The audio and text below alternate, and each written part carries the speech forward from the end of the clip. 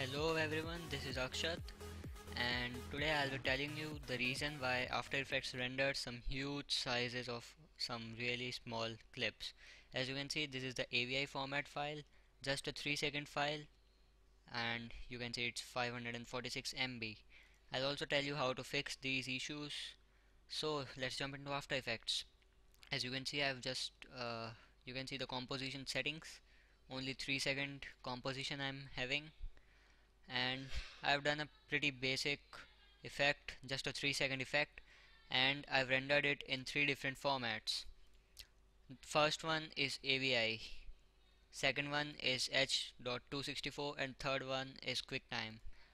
You can see all the three have the same file the same video clip and uh, and all are of the same length.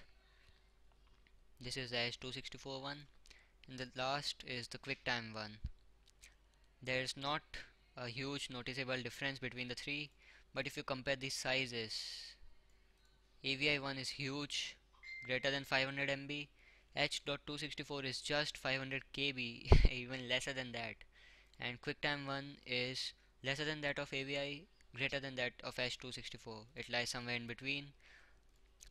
And I assure you that you won't no uh, notice any noticeable difference between all the three.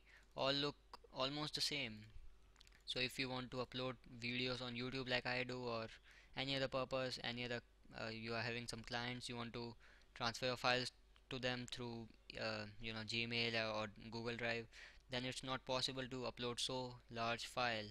And that too it's useless. I mean there's not much quality bumper on this in this AVI all are the same. So the solution to this is pretty simple.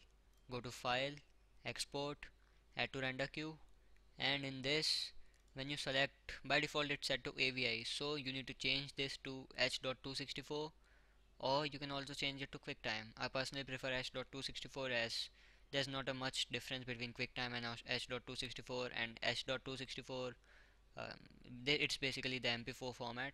It renders pretty pretty uh, normal average sized files. So just do that audio output if you want uh, so I guess this is all. It was easy I guess. Just change it to h.264 press ok.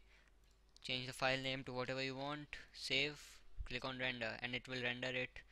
Uh, it will render a pretty uh, you know good file size. Pretty good. It will render this 496 KB so I hope you guys enjoyed watching this video and I hope it solved your problem and actually let me tell you a fun fact. The first file I rendered in After Effects it was a 6 minute file. And by mistake I rendered it in AVI and it was 171 GB in size. Yes you heard me 171 GB so okay. I hope I helped you. Thank you. Please subscribe. I'll see you guys in the next one. Peace out there